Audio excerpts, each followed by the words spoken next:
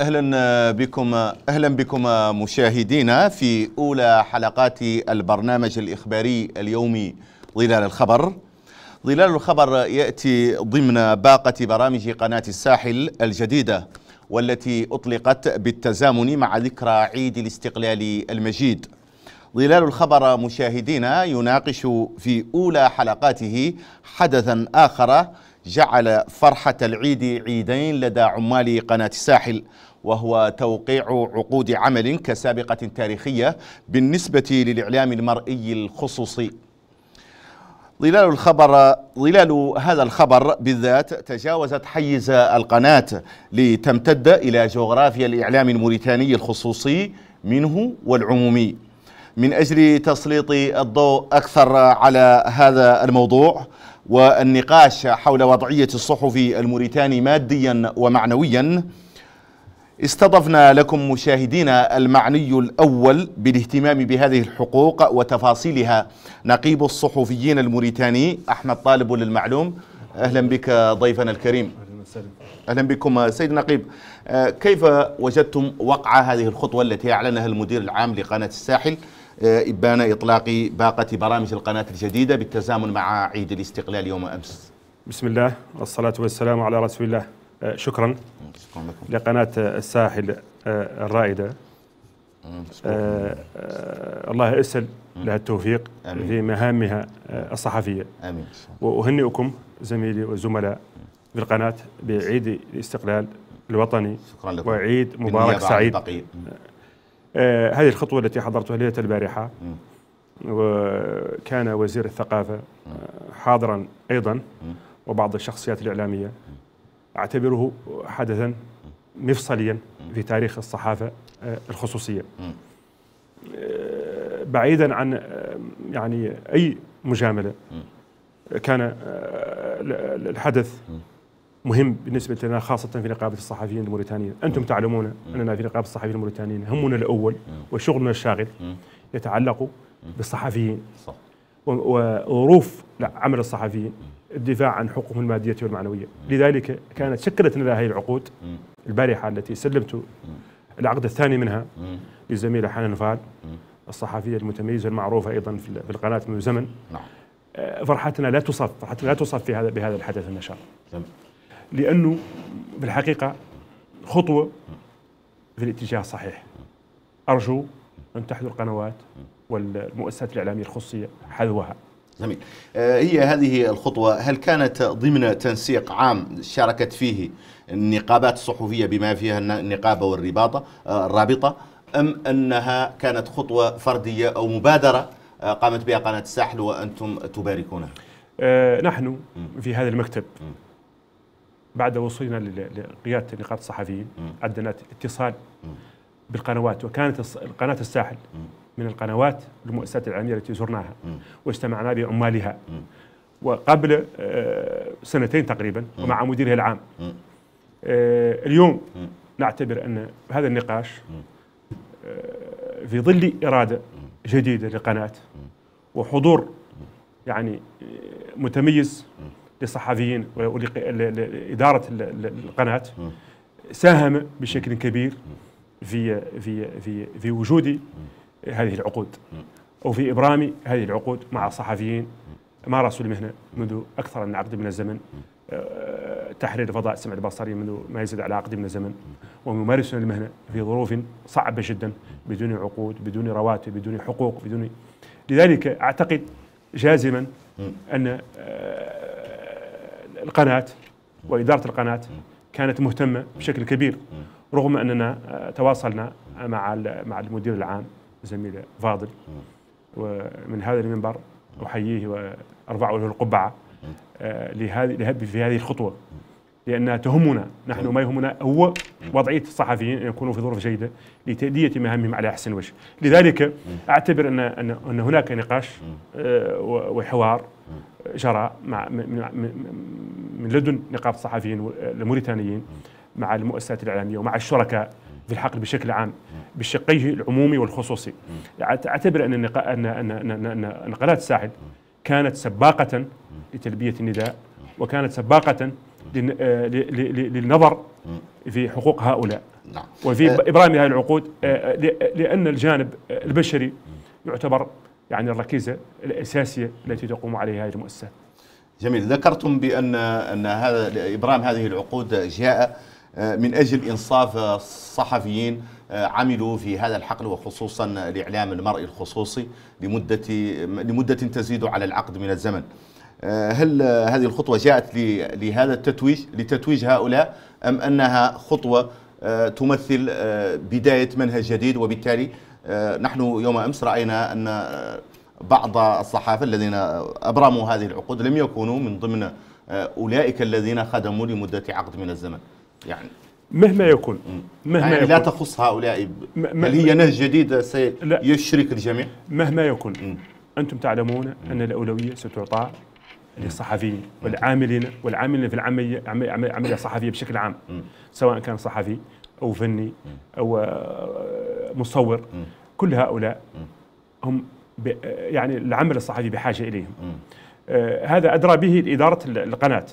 ولكن أعتقد أن الأشخاص الذين قدمت لهم ليلة البارحة التي حضرت على الأقل جانب من من تقديم هذه آه، شخصيا قدمت العقد الثاني نعم. لزميلة آه، خبرة الميدان حسب اعتقادي كثيرا نعم نعم وكانت صحيح. موجودة صحيح. هناك أشخاص قد تكون القناة بحاجة لهم هذا لا يفسد الود قضية آه، لأن الأمر لا يتعلق بالود أنا فقط أريد أن أفهم هل هذه العقود جاءت تتويجا لخدمة هؤلاء أم أن هذه العقود هي بداية نهج جديد سيتبعه الإعلام سواء بالنسبة للصحافة القدماء أو الجدد؟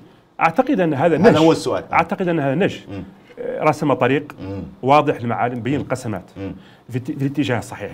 هي خطوة جريئة. أعتقد أنها خطوة جريئة لأنه أكثر من عقد من الزمن لم نرى عقود. أول عقد أحضره أو أراه مبرم. في إطار منذ تحرير الفضاء السمعي البصري ما أكثر من عقد من الزمن. أول مرة ليلة البارحة في عيد الاستقلال الوطني وأنتم في تقديمكم الآن قلتم بأن العيد عيدين. بالنسبة عيد بالنسبة للصحفيين. الصحفيين. آه، قناة الساحل عيد بعيد الاستقلال الوطني اللي هو يغمرنا جميعا. فرحة والنشوة بفرحه الحريه والانعتاق آه، العيد الثاني هو عيد تمسك آه، يعني فرحة وجود عقد. نعم. فيه الحقوق فيه التقاعد فيه يعني ما يترتب على موظف رسمي. وهذا الشيء خطوة مهمة. تجعل الصحفي قادر على أن يقدم الخدمة الصحفية بشكل جيد وبارتياح كبير. وهذا ما نسعى إليه في نقابة الصحفيين الموريتاني لأن همنا الوحيد هو الدفاع عن الحقوق المادية والمعنويه للصحفيين والكفاح دؤوب جميل. مع مع مع, مع مع مع أرباب العمل من أجل وضعهم في ظروف جيدة. أنتم دائما تكافحون من أجل حقوق المادية والمعنوية للصحافة. ويوم أمس حضرتم لخطوة تلبي آه،. مطالبكم ضمن هذا الكفاح الذي تكافحون آه، لكن آه، ما هو دور النقابه الآن هل دور هل هي ستبقى تطالب بعقود بالنسبة لبقية القنوات أن تلتحق بقناة الساحل أم أنها ستناقش مضمون هذه العقود نفسها وتحاول أن تحسن من شروط من شروط هذا هذا هذا هذه العقود؟ نحن سنعمل على الجانبين م. سنعمل على التحسين لأننا دوما نسعى إلى التحسين. نحو الأفضل وهذا طبيعي. أيضا سنسعى بجانب اخر لأن تحذو القنوات أو المؤسسات الإعلامية. ليست القنوات وحدها هناك صحف هناك مؤسسات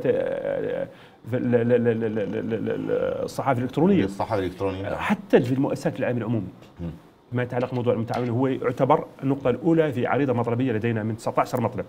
لذلك نحن ننظر إلى هذا وهذا وهذا وذاك بنفس النظرة نحن آه، نسعى دوما في النقاش والحوار والحديث مع أرباب العمل من أجل إبرام عقود للصحفيين من أجل وضعهم في ظروف تسمح لهم بتأدية واجبهم على أحسن كما نسعى أيضا في الجانب العمومي إلى إبرام آه، مرتنة أو آه، رسمنة ترسيم ترسيم.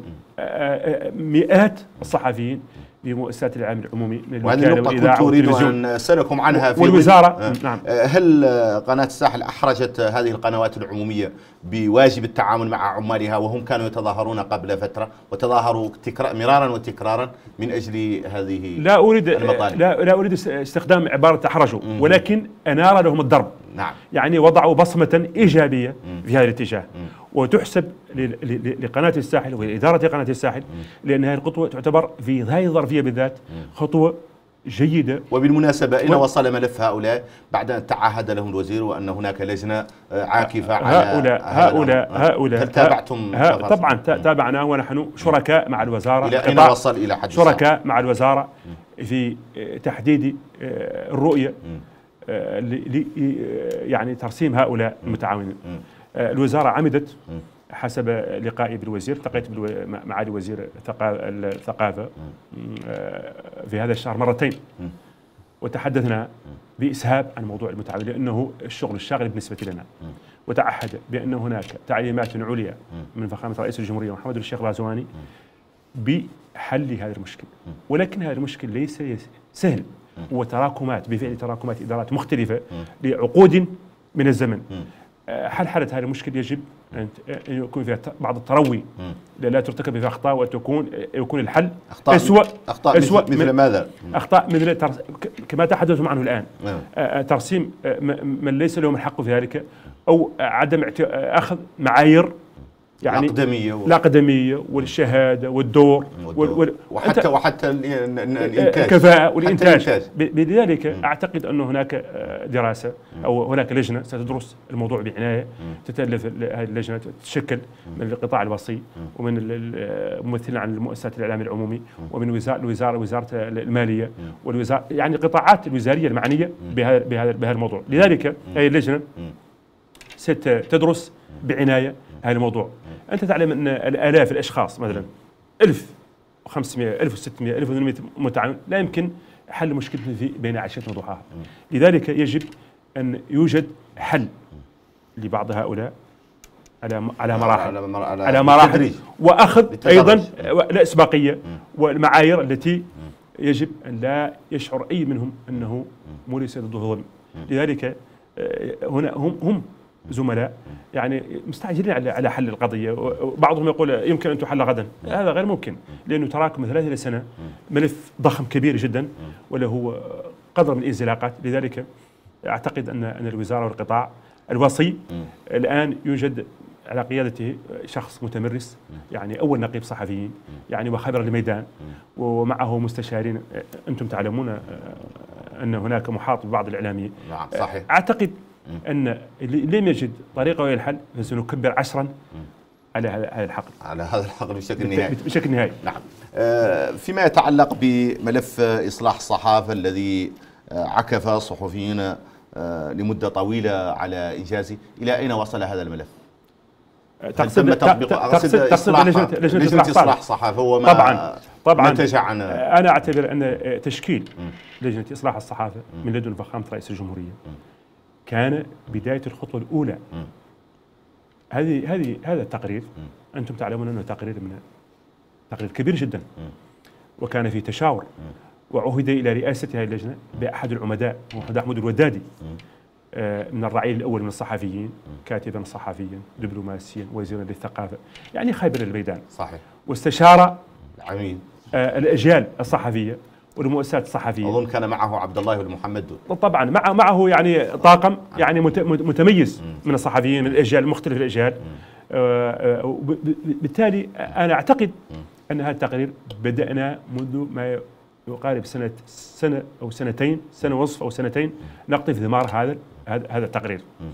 والله تبارك وتعالى قال هاتوا برهانكم إن كنتم لا تعلم إن كنتم صادقين. إن كنتم صادقين كنتم صادقين. كنتم صادق كنتم صادقين. وبالتالي آه، آه،. أعتقد أعتقد ان ان ان ان, أن إعادة هيكلة الهبة السلطه العليا للصحافه والسمعيه البصرية أعتبره أنه من نتاج هذا التقرير.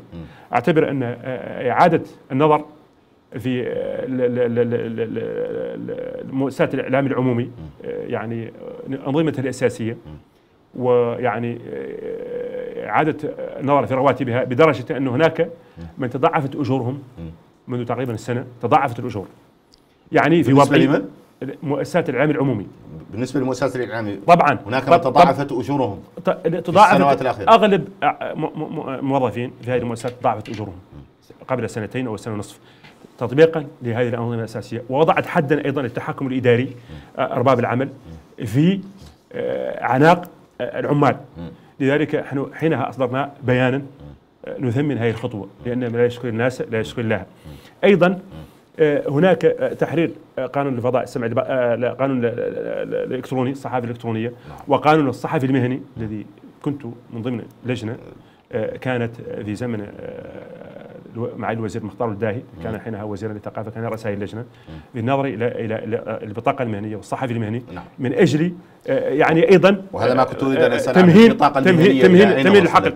لذلك آه، أعتقد أن آه، القرار الأخير الحكومة تشكيل الحكومة الاخير هو يعني العهد بالوزاره إلى إلى إلى إلى شخص خبير آه، الميدان. أعرف أنه في هذا السبيل آه، أن هناك رؤية آه، وتوجه السلطات العليا من أجل حل مشاكل هذا الحقل وكان آخره هو آه، إعطاء الأوامر بحل مشكلة المتعاون. نحن سعداء. على الرغم من كل هذا سنصل نسعى أيضا إلى التحسين من وضعية الصحفيين من وضعية العاملين في الحقل من أجل أن تؤدى خدمة الإعلام للجمهور بشكل جيد ونوعي. نعم. آه، آه، هذا فيما يتعلق بالحقوق المادية.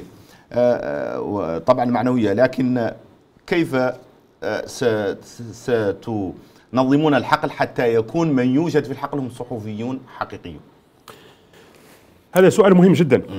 ولكن أريد أن أبين شيئا. أريد أن أبين أن في نقابه الصحفيين موريتانيا لسنا المسؤولين الدرجة الأولى عن تامين الحقل. ولكن نضع بصمة. يعني نناقش نتشاور آه، نوجه رسائل توضيحات للشركاء آه، في هذا الحقل. والقائمين عليه. نحن مثلا في آه، الانتساب المفتوح مؤخرا وضعنا شروط الانتساب لنقابة الصحفيين. يتطلب على الأقل أن يكون فيه عشرة أنشط آه، يعني أنش... آه، أعمال صحفية للصحفي الذي يطلب يعني الانتساب لنقابة الصحفيين. أن يكون له على الأقل شهادة فوق البكالوريا. أن تكون له أكثر من خبرة ثلاث سنوات. يعني شروط يعني من أجل الولوج أو الانضمام لنقابة الصحفيين. هذا ما لدينا راعيتم في هذه الشروط بالضبط. أن يكون آه، بالضبط. شخص صالح يعني صالح يكون مهنيا صحفي مهني يعني الانتساب من قبلنا يعني آه، لسنا مسؤولين عنه ولكن قد نفكر أو فكرنا عدة مرات في في إعادة غربلته ولكن الوقت أعتقد أنه لم يحن بعد آه، في انتظار أن ت- تصدر بطاقة الصحفي المهني حينها سنعرف من هو الصحفي نستطيع أن أحدهم سالني في في دول المغرب العربي عاد عاد الصحفيين الموريتانيين لم استطع الإجابة.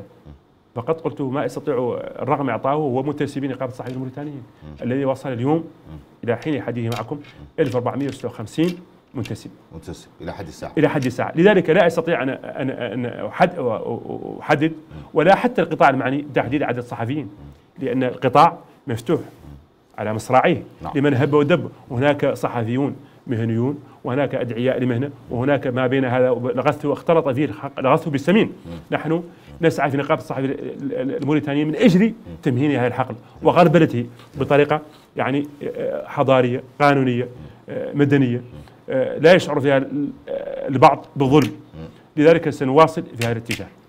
البعض يقول بأن هناك طريقة بسيطة لحل هذا المشكل وهو توجيه الصحافة للعمل الصحفي الحقيقي وبالتالي آه، سي- سينسلخ الصحفيين غير الحقيقيين أو الصحفيين غير القادرين على تأدية المهنة. ما دامت هناك أعمال ميدانية أو إنتاج حقيقي للصحافة آه، سيخرجون بأنفسهم لأنهم لن يكونوا قادرين على الإنتاج حينها.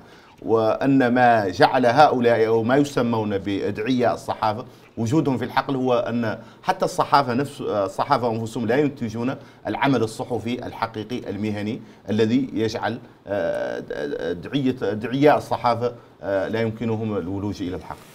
أنا أعتقد آه، زميلي الفاضل واخي الكريم أعتقد أن كيف؟ قانون أن قانون الصحفي المهني نحن ننتظر من حين لآخر ص- صدور المراسم المطبقة لهذا القانون. هذا القانون سيميز آه، سيكفينا شر هذا هذه الخربطة وجود هؤلاء. وهذا وهذه الميوعة لأنه سيحدد عبر هذه البطاقة من هو الصحفي. أنت الآن لو أخذت بدله شرطي ويعني بدأت تنظم سيقال بأنك مجنون. لأنك لست شرطيا لست عنصر أمن. صح. ومرور لكن هذا ينتفي في عالم الصحافة. الصحافة نحن قرابة الخمس ملايين. وأغلب هؤلاء السكان لديهم هواتف ذكية. قادر أي واحد منهم يكون صحفيا. أن يصبح صحفي من من يمنعه من ذلك. أو ينسى لكن هذا القانون عندما تحدثنا أيضا مع القطاع المعني وننتظر من حين لآخر. هناك أعتقد العمل جاري من أجل يعني إصدار هذه المراسم التطبيقية. حينها أعتقد اننا سنعرف من هو الصحفي. لذلك يمكن التنظيم أكثر ويمكن الإجابة حينها على سؤالكم لأننا الآن نتعرف على من هو الصحفي. سيخرج يعني أدعياء المهنة. سيخرج أيضا بعض الموظفين الذين يعني قد يمارسون, يمارسون المهنة بالهواية بالهواية. إما يختارون العمل الصحفي. إن كانوا يعشقون هذه المهنة بالفعل. نعم. وهم قادرون على تأدية المهام الصحفية. أول وظيفة التي هم أصلا يمارسون يقتاتون ويرتزقون منها. منها. لذلك أعتقد أن القانون الصحفي المهني سيضع حدا آه لهذا هذه الميوعة ولهذه الفوضى الخلاقة التي اختلط فيها الغث بالسمين والحابل بالنابل وعبارات كل العبارات التي توحي بأن هناك آه. يعني خلبطة في في الحق لم يقل الكثير من الوقت. آه، أريد أن أسأل أنتم في الشهر الماضي أظن أعلنتم آه، عن تجديد عن موعد تجديد المكتب النقابه هذا الموعد لماذا اخترتموه بعد في الشهر الخامس من السنة اظن طيب. اخترتم هذا التوقيت بالضبط؟ طيب هناك ولماذا تأخر أصلا؟ طبعا. آه، جيد. آه، نحن أصلا من يعني مأمورية والعهدة من ثلاث سنوات. وهناك مكتب تنفيذي من 17 شخصا هم الذين لهم الحق النظام الأساسي. بأن يقرروا بعض الأمور الإجراءات التسييرية لهذه النقابة كان كنا نتوقع أن نجري انتخابات تنتهي في الثامن عشر من يوليو لكن تزامنت مع الانتخابات آه، آه، الرئاسية وما أدراك من الانتخابات الرئاسية وإكراهات الانتخابات الرئاسية وانشغال الصحفيين. حتى أيضا من الجانب اللوجستي والتنظيمي نحتاج إلى قطاع أو قطاعات قادرة على أن تساهم في تمويل وهذا المؤتمر يعني المؤتمر يعني مؤتمر يعني في انفاق كثير. في ضيوف قادمه من الخارج. يعني يحتاج لتنظيم ويحتاج أن تكون هناك سعة وأن يجد الصحفيون أنفسهم يجدون وقتا للتعبير عن آرائهم في الترشح في الانتساب في الاقتراع. وأيضا أن تكون هناك قطاعات وزارية مشاركة لنا قادرة على أن نتواصل معها من أجل التنظيم. لذلك قرر المكتب التنفيذي أن تكون يتم تأخير هذا هذا هذا هذا المؤتمر الخامس. اختاروا مايو لأن أيضا يجب أن يعلن قبل الاقتراع بستة أشهر. يعني لذلك كان آه، الاجتماع للمكتب التنفيذي قرر لأن مايو سيكون فترة مناسبة آه، يعني قبل العطلة الصيفية وفي نهاية السنة الدراسية. وستكون الحكومة حينها أمضت عدة أشهر وقادرة على أن تتواصل معنا وأن يكون لدينا متسع من الوقت لتنظيم هذا المؤتمر تنظيما جيدا. شفافا أن يشارك فيه الجميع ودعونا الجميع نحن الآن فتحنا الانتساب مدة شهر و15 يوم التظلم وأيضا لمن يريد ومن هذا المنبر اؤكد للزملاء الذين انتسبوا من قبل عليهم من أراد منهم أن يترشح أو يقترع أو يساهم في أن ان ان يقدم ورقة أو على الأقل رقمه الوطني. وصورة له من أجل أن تكون هناك عملية شفافة يوم الاقتراع. مثلا احمدنا سيد أحمد يريد أن أن يقترع وكان مسجلا أصلا يجب أن يراسل يمر بالنقابة يراسلها برقمه الوطني لكي نتأكد أن يوم الاقتراع أن احمدنا سيد أحمد هو نفس احمدنا برقمه الوطني وميزه لأن الأسماء الموريتانية والأسماء يعني تكون متكررة نفس اسم عبد الله بن محمد عبد الله بن محمد متكرر لدينا المختار بن محمد. لذلك نحن نحاول أن نجد وقتا أيضا من أجل تنظيم شفاف وجيد لأن يختار الصحفيون يعني من يسير هذه النقابة. هذا هذا هذه من ضمن الأسباب التي جعلت أن يكون في تأخر عدة أشهر. وهذا شيء عادي يعني. نحن الآن نحن النقابة تأسست أول نقيب آه، على ما أعتقد 2009 اليوم 2024 يعني معدل يعني معدل بقاء النقيب يعني في العهدة حوالي آه، أقل من أربع سنوات. لأن عادة ما يكون فيه بعض الأمور التي تطلب من المكتب التنفيذي يتخذ قرارا وله الحق في ذلك آه، في اختيار فترة مناسبة قادر على أن ينظم فيها هذا المؤتمر بشكل جيد ويتيح للجميع مشاركة يعني فعالة ويعني ونزيهه. في تقارير دوليه في المرة الماضية ذكرت أن الصحافة الموريتانية تربعت على عرش آه، في حرية التعبير طبعا في موريتانيا على عرش العالم العربي والإفريقي. آه، أنتم هل تلمسون ذلك في كواقع؟ طبعا. في مجال الصحافة أنتم كنقيب. طبعا. آه، بالنسبة لتربع موريتانيا آه، ليست المرة الأولى ولكن هذه المرة حصدت رقما قياسيا. حتى على بعض الدول الأوروبية الديمقراطية. يعني هي تجاوزت يعني بعض الدول الأوروبية. احتلت المرتبة كانت عربيا سابقا قبل هذا ولكن الآن عربيا وإفريقيا. هذا لا يمكن يأتي تجريدا ولا اعتباطا مستحيل. هناك إجراءات هناك عمل هناك يعني العمل على الترسانة القانونية على التنظيم الجيد على فضاء الحريات على إرادة سياسية لنسمي الأشياء بأسمائها. هناك إرادة سياسية من إنشاء هذه اللجنة و يعني إعطاء القوس لبارها هذه الأمور كلها أنتم مثلا في قناة الساحل أعتقد أن أن وجود صحفي متميز مكن ساهم. ساهم في أن تبرم هذه العقود. لا أ- اخفف من شأن أي أحد ولكن أعتقد أن الإرادة السياسية عندما تكون حاضرة قد بالتأكيد سيساهم في حل حل هذه القضايا. آه، يعني آه، 2021 إنشاء لجنة إصلاح الصحافة كانت هناك إرادة سياسية لحل مشاكل الحقل. لكن هذه الحلول لا يمكن أن تأتي أخي الكريم وزميلي الفاضل في في في في دفعة واحدة الوقت يجب. يجب يجب يجب أن تس... أن الأمور أن تأتي الأول في الأول والأول وهكذا عودة إلى العقود التي أبرمت مع عمال قناة الساحل وهم 25 شخص في مرحلة أولى كما ذكر المدير العام لقناة الساحل في خطابه وفي وتعهد بإبرام عقود مع بقية العمال في الفترات المقبلة. آه، هل هناك قنوات أبدت استعدادها ل- ل- ل- ل- ل- لبر- لإبرام عقود مع عمالها قنوات خاصة آه، حتى حتى؟ الساعة حتى الساعة أخي الفاضل وزميلي لا علم لي حتى الساعة آه، بخطوة كهذه. أعتقد أن هذه الخطوة ستكون بالغة امل وفاتحة خير للقنوات الأخرى. الطريقة التي استطاعت بها قناة الس- الساحل أن تبرم آه، 25 عقدا يعني هذا قياسي بالمقارنة مع مع اللا مع اللا شيء مع لا شيء مع صح- لا شيء. لذلك أعتقد أن هذه خطوة خطوة جبارة ك- يعني. يجب مم. ان ان ان ان, يعني أن ينوه بها ل- ل- ل- كما قلت لكم سابقا من لا يشكر الناس لا يشكر الله وكيف وكيف أن ننوه وكيف. ستستغلها نقابة الصحفيين في العمل النقابي من أجل نحن- حث نحن- القنوات الأخرى على إبرام عقود أو حتى المؤسسات سنرفعها. سنرفعها مم. آه، مثالا ايجابيا في كل مرة في كل لقاءاتنا أن هناك قد استطاعت إحدى القنوات الفضائية الموريتانية أن تبرم 25 عقدا وهي تنوي المزيد من العقود. لذلك آه، نأمل أن تكون هناك قنوات وأنا أعلم أن بعض الزملاء قادرين على على على عقد هذه آه، إبرام هذه العقود.